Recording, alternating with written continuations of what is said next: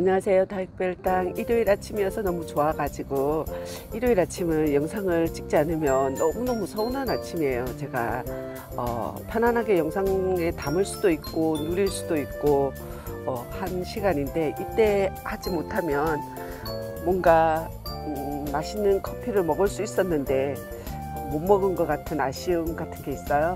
지금 아파트 조경수 나무들이 한 끝 초록한데 아주 아주 자세히 보면 이 파리들이 가을이라는 그 잎에 물 들어가는 것도 살짝 엿보이기는 해요. 그죠?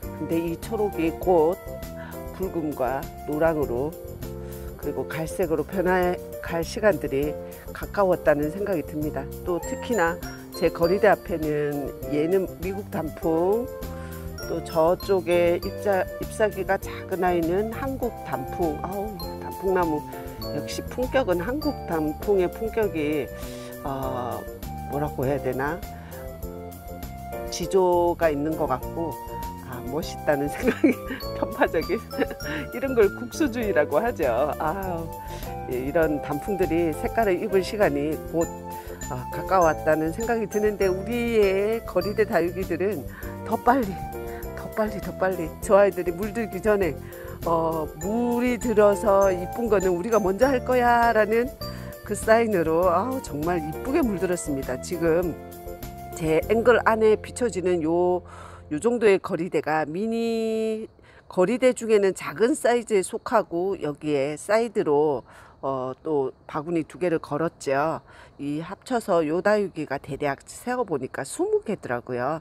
그래서 앵글 안에 비춰지는 요만큼이 20개의 다육이가 주는 행복이고요. 여기서 보는 요 색감과 돌려서 중형 사이즈의 거리대에 담겨 있는 다육이 수 물론 이 안에 어떤 다육이가 담겼냐에 따라서 보여지는 시각은 시각적 효과는 완전히 다르겠지만 그냥 제가 키우고 제가 담아 놓은 요 안에서 어, 30개의 다육이가 주는 행복 어, 왼쪽은 30개 오른쪽은 20개 합쳐서 50개가 50개의 어, 다육이가 주는 행복을 9월 25일 일요일 아침 제가 누리고 있습니다. 요 정도의 다육이만 딱 키우고 있다면 어, 별로 성가시지도 별로 손이 많이 가지도 우리가 가볍게 키우고 누릴 수 있지 않나 싶은데 요 정도의 양으로 끝나는 다육이 키우는 다육맘이 아주 극히 적지 않을까 싶어요. 저도 안방 창틀에 가면 또 거기에 한 3, 40개가 있죠. 또 저쪽에 지금 창틀 난간에 지금 살짝 보일 거예요. 저 베란다 앞에 생노숙하고 있는 또 다육이들이 대략 한 열댓 개 있을 테고 또 키핑장은 훨씬 많은 다육이가 있잖아요. 키핑장도 어, 최소한 일주일에 한 번쯤은 가서 살펴주고 어, 물 필요한 아이들은 물도 주고 관심을 고, 가져줘야 되는 것 같지 그렇게 무방비로 내도록 그냥 맡겨진 아이다라고 생각하고 두기만 할 수는 없더라고요. 이렇게 아, 요만큼의 50개의 다육이가 주는 행복을 지금 영상에 담고 있습니다. 그리고 요 다육이를 키우고 있는 다육맘의 그 다육이 키우 연, 키운 연차가 어, 저는 1년에서 2년 사이에 걸쳐진 다육맘이라 수준이 요러요러합니다. 화분도 그냥 평범하고요. 플라스틱 화분에서 이제 자, 자기 화분으로는 다 옮겨진 상태예요. 이제 플라스틱은 별로 제가 선호하지 않는 것 같고, 어, 이제 화분은 가성비 좋은 화분을 사서 심어주는 정도까지는 와 있긴 한데요. 제가 이제 요 정도 연차라 화재가 이렇게 예쁘게 물들었어요. 또 펜지 얼굴 세 개가 어, 합식해서 어, 끝끝내 요렇게 변하지 않고 이렇게 이쁨을 줘요 라고 그리고 이건 제가 영상에서 그냥 하는 말이 아니라 지금 제 상태는 이래요.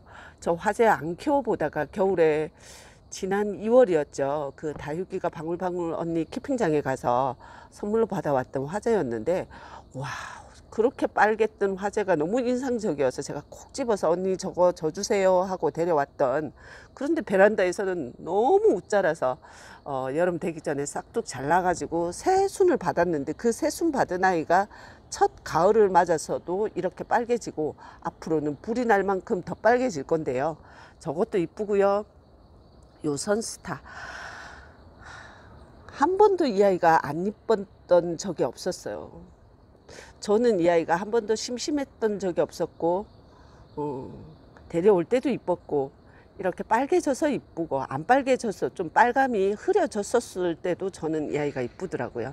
그건 저의 기호일 겁니다. 제 기호가 요런 수영의 선스타를 좋아하는 저의 기호가 반영이 돼서 이쁜 거지 다른 분들한테는 뭐 그게 이쁘니 그저 많은 크라슐라 속 에 속하는 하나의 어, 다육이일 뿐이지 네가 그 애밖에 몰랐어 그래 뭐 이렇게 말해 주실 수도 있다는 생각이 듭니다. 이쁩니다. 그냥 1년에서 2년 사이에 걸쳐진 그래서 가, 가을에 가을이 시작되면서 다육이 개수가 이렇게 많은 건 전 또 처음입니다. 지난 9월 말에는 거리대 요 하나의 거리대 속도 속에도 다 채워지지 않는 정도의 다육이였거든요. 그닥 많지 않았습니다. 베란다의 일부와 거리대의 어, 거리대 한 개에 채워진 다육이만으로도 저는 환호했고 기뻤고 신기했는데요. 이제는 이제는 많아져야 되고 풍성해져야 되고 커져야 되고 색깔도 진해야 되고 뭐 그럴 때 더 많이 환호하는 것 같긴 합니다. 오늘 아침에 이렇게 말이 많은지 모르. 아, 저 원래 말이 많은 것 같아요. 아, 말이 많은데 오늘 아침 그래도 어떤 스토리를 담아서 얘기하고 싶었는데요. 음, 다육이 거리대 저는 여기만큼까지밖에 못 와서 드는 생각인데 그래도 한 요 정도의 한 50개의 화분만으로도 충분히 매일매일 즐길 수 있는 다육이라서 어, 한 50개 정도의 범위를 정해놓고 키우면 이렇게 즐길 수 있어요라는 뭐죠? 어떤 기준을 보여드리고 싶다고나 할까? 다육이 개수가 많아지니까 어떤 순간에는 아, 많이 많이 부담스러울 때가 있더라고요. 그래서 50개 키우면 요 정도 느낌이에요. 그거 그거 보여드리고 싶어서 서두가 너무너무 길었습니다. 음. 그렇지만 자, 저도 50개가 아니고 캠핑장에도 한 100, 100개가 넘어가는 다육기가 있고 창틀에도 있고 베란다 난간에도 있으니 저는 어, 조금만 키우세요라고 말할 수 있는 자격은 없지만 이만큼 늘려봤더니 어떤 사계절 보내오면서 어떤 때 내가 뭐 하고 있나 다육이에 치여서 사는 것 같기도 하고 또 이렇게 다육이가 있는데 또 새 다육이가 계속 눈에 들어오고 하는 저를 보면서 많이 어, 많이 다독였어요. 이거 과하면 과유불급이다라는 생각을 하면서 한 5월 말 이후 2월, 3월 정도 오면서는 절제하기 시작해서 5월 말 이후에는 어, 대량으로 구입하는 거는 많이 자제하긴 했습니다. 그래도 키핑장 테이블에 아직 자리가 있고 키핑장 들어가면 판매하는 곳이 있어서 어, 다육이를 전혀 구입하지 않은 건 아니지만 그래도 저 어, 앞으로도 더 절제하고 어, 절제하면서 다육이 키우는 즐거움을 누려 가 볼까 하고요. 제가 요 자리에 요 크리스마스 옆에 까라솔이 있었는데 작년에는 어느 유튜버님이 까라솔에 대한 애정이 너무너무 크셔서 그걸 영상에서 많이 말해, 말해 주셨어요. 까라솔 이쁘죠? 꽃이 피면 이렇게 많이 많이 풍성해져요 라고 말했던 그분의 그 어, 낭낭한 목소리에 저도 이끌려서 까라솔 꼬집기도 해보고 키워가면서 이쁘다 생각도 해보고 했는데 요즘은 그렇게 말해주는 어, 유튜브님이 별로 없네요. 그분은 이미 궤도로 많이 올라서서 더, 더 많은 다육이, 더 다양한 다육이, 더 많, 더 이쁜 다육이들을 많이 어, 보여주고 안내하다 보니까 안내하다 보니까 그쪽을 다 따라갈 수도 없고 그냥 1년 남짓 넘은 다육별당이 요 정도의 다육이로도 다육이가 충분히 이뻐요 라는 이야기를 오늘 영상에서 담아봤는데요. 베란다 안에서 다육이 키우시려고 시작하신다면 개수를 얼만큼 정해야 되는데 그게 베란다 안에 다 들어가는 개수로 잡지 마시고 어, 최대한 누숙 환경에서 내 아파트 안에서 최대한 바람도 햇볕도 많이 쐬어줄 수 있는 환경에 내놓을 수 있는 개수로 개수로 한정하시고 그 개수가 아주 추운 겨울에 혹은 또 태풍이 불거나 하는 여름이나 장마철에 들여 놓는 공간으로서 베란다가 필요한 거지 순수 베란다 안에서 다육이를 키운다고 하면 이쁜 다육이 보기도 힘들기도 하고 어떤 특정 계절에는 베란다 한 다육이들이 어, 안 이뻐져서 또 마음에 또 우울감이 올 때도 있고 하더라고요. 그래서 이렇게 저는 다행히 음, 이렇게 거리대를 요만큼이라도 걸어서 예쁘게 보고 있는데 요 아이들 한겨울에는 아주 추워진 기온이 내려가면 또 베란다로 들어가야 되겠죠. 그때 한겨울에 베란다는 다육이 키울만 합니다. 기온도 적당히 하우스 같고 또 해도 잘 들어오기 때문에 키울만 한데 봄이 익어 가지고 여름이 무성해질 때는 베란다 안에서 힘들기 때문에 다육이 이제 키우기 시작하신다면